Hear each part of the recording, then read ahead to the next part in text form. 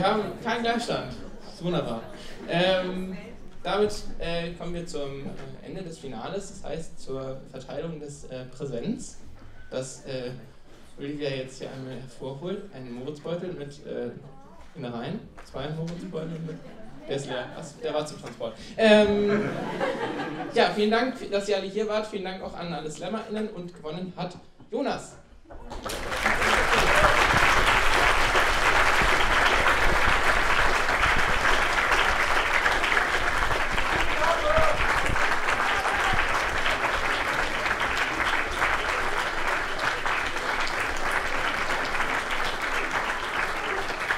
Wollt ihr noch einen, einen Text hören von Jonas, so zum Abschluss?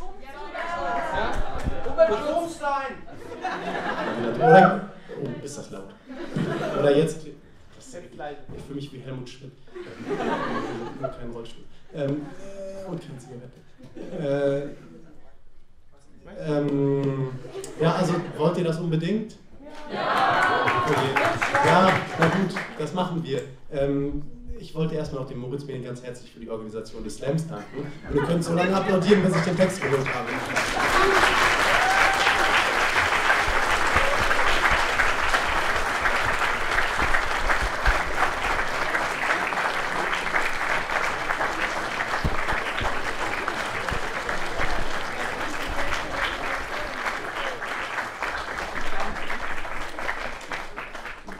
Der Text heißt Der Atomstein. Oma war eine begeisterte Steinesammlerin. Jedes Wochenende war ich bei Oma und bestaunte die funkelnde Welt der Opale, Achate, Wismute, Rubine und Smaragde. Hier, Kind, nimm die Lupe. Ein ganz toller Kristall. Aber wie das mit alten Leuten so ist, jünger werden sie eben nicht mehr. Die Demenz schlug zu und Oma kehrte von ihren Spaziergängen mit Tüten und Körben voller Steine zurück.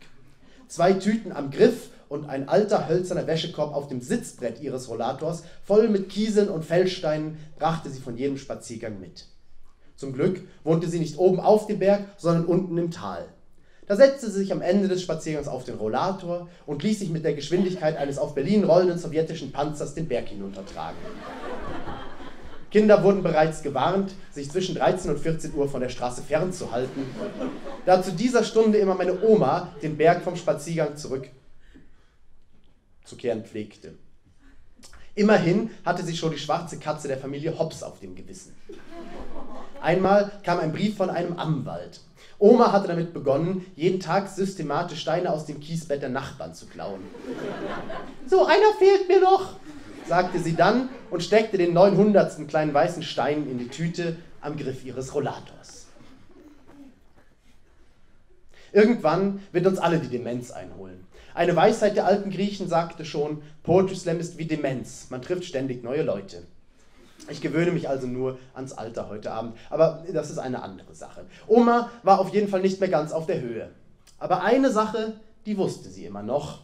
Kinder, sagte sie dann immer, einen radioaktiven Stein habe ich, ein Uranoxid. Hat Opa damals aus Russland mitgebracht, aus dem Bergwerk, wo er als Kriegsgefangener gearbeitet hat.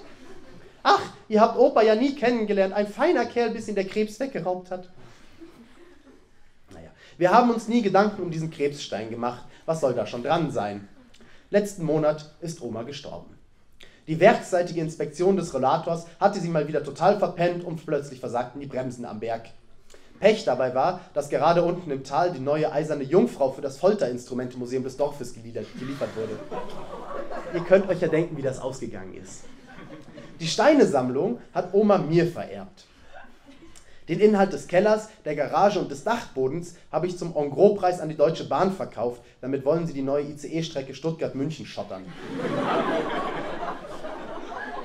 Ein schöner Gedanke, dass auch Oma ihren Teil zu diesem Prestigeprojekt beigetragen hat. Ich beaufsichtigte gerade den vierten Sattelschlepper, der mit Steinen beladen den Hof verließ, als meine Schwester aufgeregt zu mir angerannt kam. Jonas, du musst sofort mitkommen. Sie führte mich zum Gartenhäuschen, das sie von Oma vermacht bekommen hatte. Dort drin stand in einer Ecke ganz hinten eine dieser blauen Tiefkühltruhen, die man früher immer mit auf Autobahnraststätten hatte und in den Zigarettenanzünder stecken konnte und aus der Papa Eier aß und Bier trank. So war das damals im Westen.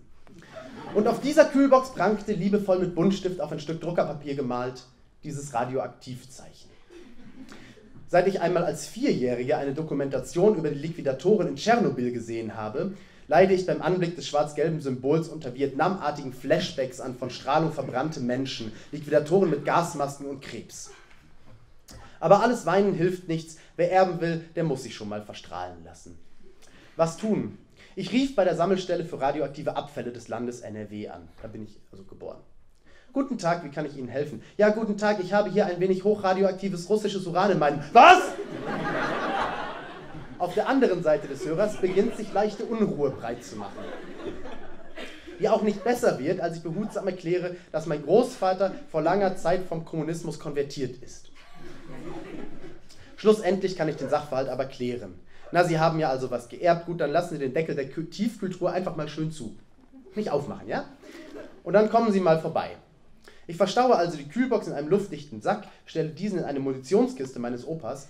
Weiß jemand, was eine Munitionskiste ist? Das sind so große Truhen aus Holz. So. Und die wiegt also 24 Kilo, weil diese mit, mit Blech ausgekleidet ist. Ja, wenn, wenn dann so eine Munition explodiert ist, dann ist nicht der Keller explodiert. Ja. Also eine Munitionskiste. Stelle diesen in eine Munitionskiste meines Opas, vernagele die Box, maure die Kiste dann in meinem Kofferraum ein und gieße den Kofferraum mit Blei aus.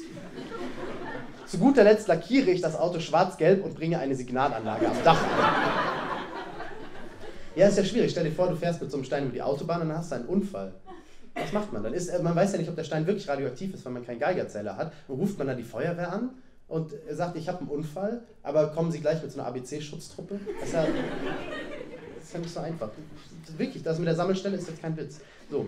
Ähm, bei der Sammelstelle angekommen muss ich feststellen, äh, dass sich einmal erkaltetes Blei nur schwer aus dem Kofferraum lösen lässt. Der Typ von der Sammelstelle mit dem Geigerzähler in der Hand wird schon ungeduldig, während ich noch mit einem Presslufthammer die Mauer in meinem Kofferraum einreiße. Der Geigerzähler. Nichts. Der Geigerzähler tut nichts. Es knarzt nicht, als wir den Sack öffnen, auch nicht, als wir den Deckel der Kühlbox abheben. Darin liegt nur ein unscheinbarer, kohlkopfgroßer Stein. Nichts. Der Typ von der Sammelstelle nimmt den Stein in die Hand und wirft ihn in die Restmülltonne. Das passiert häufig. Da erbt jemand was und dann kommt nichts dabei rum. Ich bin seltsam enttäuscht. Aufregend war das ja schon. Ich erinnere mich an Alexander Litvinenko und frage hoffnungsvoll, ob der Stein denn gefährlich werde, wenn ich ihn hinunterschlucken würde. Der Strahlenschutzexperte zuckt lustlos mit den Schultern. Höchstens, weil sie dann einen kohlkopfgroßen Stein im Magen hätten. Dann dreht er sich um und geht. Und die Moral von der Geschichte? Wenn eine demente Oma behauptet, ich habe russisches Uran gebunkert, dann gilt, wie für alle Situationen im Leben, keine Panik.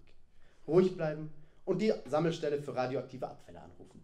Jo, danke, schönen Abend.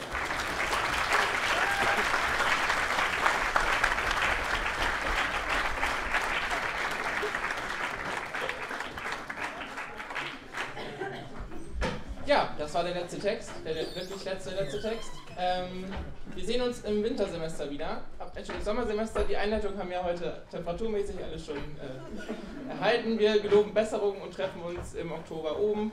Und bis dahin alles Gute.